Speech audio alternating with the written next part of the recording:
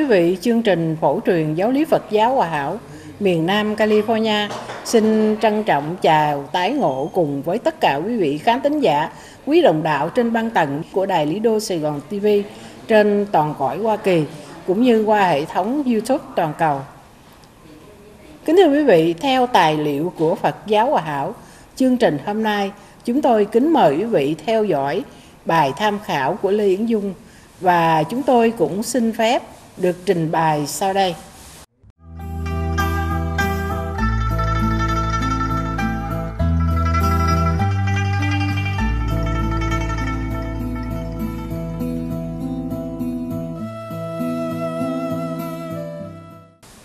Kính thưa quý vị, mỗi năm cứ vào ngày 21 tháng 9 âm lịch, mỗi người như một đều không quên được một sự kiện lịch sử quan trọng con đường chính trị đó là việc Đức Quỳnh giáo chủ đã đề xướng thành lập cách nay đúng 72 năm là Đảng Chính trị Việt Nam Dân Chủ Xã hội Đảng. Và kính thưa quý vị, đây là một sự kiện trọng đại mà Đức Quỳnh giáo chủ đã cống hiến cho đất nước Việt Nam. Việt Nam Dân Chủ Xã hội Đảng còn được gọi tắt là Dân xã Đảng là một đảng chính trị hoạt động tại miền Nam Việt Nam do sự đoàn kết giữa những đoàn thể ái quốc kháng chiến, cần lao, tôn giáo và chính trị. Thành lập vào ngày 21 tháng 9 năm 1946, trải dài tới ngày 30 tháng 4 năm 1975. Sau khi Pháp tái chiếm miền Nam, Đức Quỳnh Giáo Chủ với sự tham gia của một số nhà trí thức như Nguyễn Văn Sâm, Nguyễn Hoàng Bích, Trần Văn An nhằm tạo tiếng nói chính trị cho Phật giáo Hòa Hảo với lập trường chống Pháp lấy tên là Việt Nam Dân Chủ Xã hội Đảng với bản tuyên ngôn Việt Nam Dân Chủ Xã hội Đảng do Đức Quỳnh giáo chủ công bố vào ngày 21 tháng 9 năm 1946. Vài ngày trước khi công bố, Đức Quỳnh giáo chủ kêu gọi một số tín đồ tín cẩn từ khắp nơi đến và Ngài bảo rằng vì tình thế nước nhà, nếu Thầy đem đạo Phật giáo hòa hảo ra tranh đấu thì không tích hợp, vì đạo thì lo tu hành chân chất, nên Thầy phải tổ chức đảng chính trị mới thích ứng nhu cầu cần thiết của nước nhà. Hai, các nhà ái quốc chân chính trong nước mặc dầu nhận Thầy là một nhà ái quốc nhưng không thể cùng hiệp chung với Thầy dưới danh nghĩa mối đạo Phật giáo hòa hảo để lo việc quốc gia. Bởi lẽ anh em ấy không thể tu hành như mình hoặc giả đã có đạo rồi thì không thể nào bỏ đạo mà quy y theo Phật giáo hòa hảo. Vì vậy, thầy phải tổ chức chánh đảng. Còn tôn giáo thì riêng ai nấy giữ. Ba, Vậy tất cả các anh em tín đồ nếu thấy mình còn nặng nợ với non sông tổ quốc, thương nước, thương dân, hãy tham gia đảng Việt Nam Dân Chủ Xã hội đảng. Đây là phương tiện để cho anh em hành xử tứ ân. Ba điểm trên là những lời giải thích của Đức Quỳnh giáo chủ để cho tín đồ của Ngài biết rõ lý do tại sao Ngài thành lập Việt Nam Dân Chủ Xã hội đảng. Về nguyên lý thì người tín đồ Phật giáo Hảo đã hiểu rõ từ căn bản giáo lý tứ đại trọng ân để tích cực đền đáp ân đất nước và ân đồng bào. Đức Thầy cũng dạy.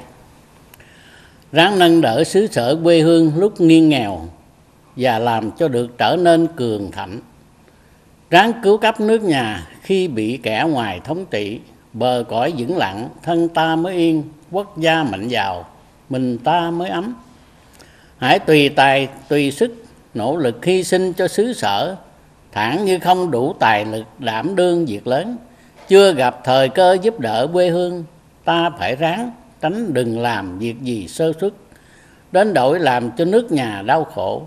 Và đừng giúp sức cho kẻ ngoại địch, gây sự tổn hại đến đất nước. Đồng bào ta và ta cùng chung một chủng tộc, cùng một nòi giống roi truyền cùng có những trang lịch sử dễ vang oanh liệt cùng tương trợ lẫn nhau và trong cơn nguy biến. Cùng chung phận sự đào tạo một tương lai rực rỡ cho bước tiền đồ của gian sang đất nước. Đồng bào ta và ta có một liên quan mật thiết, không thể rời nhau, chẳng thể chia nhau và chẳng khi nào có ta mà không có đồng bào, hay có đồng bào mà không có ta.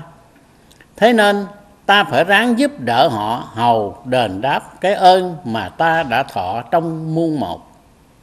Với tôn chỉ và chủ sướng một lúc ba cuộc cách mạng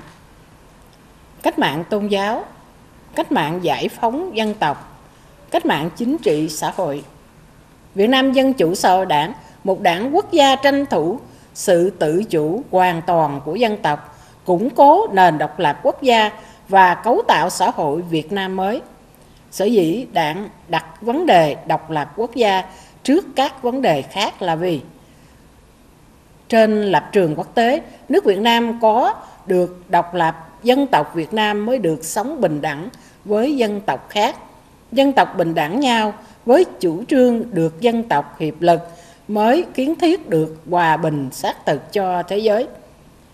Dân tộc việt nam được tự chủ và mạnh mới tránh khỏi sự chi phối của đế quốc chủ nghĩa để thi hành một cách có hiệu quả những biện pháp chính trị và kinh tế, đem lại hạnh phúc cho toàn dân. Việt nam dân chủ xã hội đảng là một đảng dân chủ chủ trương thiệt thi, triệt để nguyên tắc chính trị của chủ nghĩa dân chủ chủ quyền ở nơi toàn thể nhân dân, đã chủ trương toàn dân chính trị thế tất đảng chống độc tài bất cứ một hình thức nào. Việt nam dân chủ xã hội đảng là một đảng cách mạng xã hội, chủ trương tổ chức nền kinh tế theo nguyên tắc chủ nghĩa xã hội. Không để giai cấp mạnh cướp công quả của giai cấp yếu, làm cho mọi người được hưởng phúc lợi cân xứng với tài năng và việc làm của mình. Những người tàn tật yếu đuối thì được nuôi dưỡng đầy đủ. Đặc điểm của việt nam dân chủ xã hội đảng trong giai đoạn hiện tại không chủ trương giai cấp đấu tranh giữa dân tộc Việt Nam vì lẽ xã hội Việt Nam, hiện thời trên 80 năm bị trị, chỉ có một giai cấp bị tư bản thực dân bóc lột. Muốn tránh khỏi giai cấp đấu tranh về sau thì sự cấu tạo xã hội Việt Nam mới phải căn cứ nơi những yếu tố không cho sanh trưởng giai cấp bóc lột và chỉ trợ trưởng một giai cấp một tức là giai cấp sanh sản đường lối và lịch trình mục tiêu của Việt Nam Dân Chủ Xã hội Đảng như sau. Về chính trị đối ngoại, căn cứ vào chính sách của Liên Hiệp Quốc và sự bảo vệ chung nền hòa bình, cộng tác với các dân tộc khác trên lập trường tự do và bình đẳng. Tranh đấu giải phóng dân tộc đem lại độc lập cho nước nhà, thừa nhận quyền dân tộc tự quyết của các dân tộc nhược tiểu – đoàn kết với các dân tộc ấy để chống đế quốc xâm lăng. Phần đối ngoại, nước Việt Nam, ba miền Nam Trung Bắc gồm một củng cố chính thể dân chủ cộng hòa bằng cách đảm bảo tự do dân chủ cho toàn dân. Ủng hộ chính phủ trung ương về mặt tranh thủ thống nhất và độc lập liên hiệp với các đảng phái để chống quả thực dân, chủ trương toàn dân chính trị, chống độc tài bất cứ hình thức nào. Về kinh tế, nguyên tắc chung, trọng quyền tư hữu tài sản đến một độ không có hại đến đời sống công cộng. Dự bị một phần xí nghiệp quốc gia, một phần tự do cho tư nhân và ngoại kiều, thi hành những biện pháp không cho bóc lột công nhân nông nghiệp di dân để mở đất quan lập đồn điền quốc gia, lập làng kiểu mẫu theo chủ nghĩa xã hội đồn điền. Mua lại đồn điền bị tập trung quá độ để bán lại cho nông dân hoặc để cho quốc gia. Lập bình dân ngân quỹ và lập hợp tác xã sản xuất để giúp nông dân mua dụng cụ và máy móc như cài, gặt, vận tải. Hợp tác xã để tránh nạn trung gian phổ thông khoa học để gia tăng sản xuất nông nghiệp, chăn nuôi, thủy lợi, lâm sản. Về công nghệ, mở mang khí cụ cần thiết cho sự khuếch trương nền kinh tế quốc gia, lần lượt phát triển kỹ nghệ cần yếu, bắt đầu từ kỹ nghệ nhẹ về thương mại, lập hợp tác xã tiêu thụ bán vật dụng cần thiết từ thành thị đến làng ấp. Về tài chính, lập ngân hàng quốc gia. Về xã hội, bài trừ thuốc phiện, rượu mạnh, cờ bạc, mãi dâm, tham ô, thi hành triệt để luật xã hội, cải thiện và nâng cao đời sống tinh thần và vật chất của dân cài và thầy thợ bằng cách mở thật nhiều cơ quan y tế, giáo dục, cứu tế, nhà bảo sanh, ấu trị viện, nhà dưỡng lão, nhà thương trường học, nhà hát bóng, làm cho dân cài cũng hưởng được những ích lợi của khoa học như thầy thợ ở đô thị. Về văn hóa, bài trừ văn hóa nô lệ, sơ học, tiểu học được cưỡng bách và không học phí, giáo dục chuyên môn, tổ chức du học, cấp học bổng, lập cơ quan tu học nghề nghiệp về thanh niên, tổ chức thanh niên thành đoàn thể và huấn luyện cho thành người thích ứng với thời đại mới. Mở quán, trạm, nhà hội, sân vận động cho thanh niên. Về binh bị, thành lập một đội binh phòng vệ, mở lớp dự bị quân sự phòng vệ từng làng trong một thời gian ngắn. Mở trường đào tạo sĩ quan, gửi võ quan cao cấp đi tập sự ở ngoại quốc.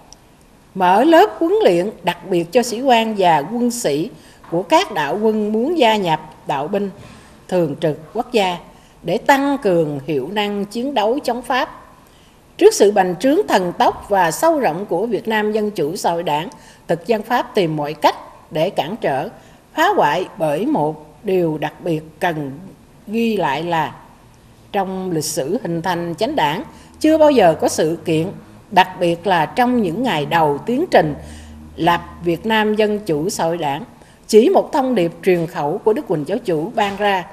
lập tức có ngay hơn một triệu đảng viên, đó là khối tín đồ Phật giáo Hòa Hảo mà trong lịch sử chưa bao giờ có một chánh đảng Việt Nam nào có số đảng viên cao đến cả triệu người như vậy.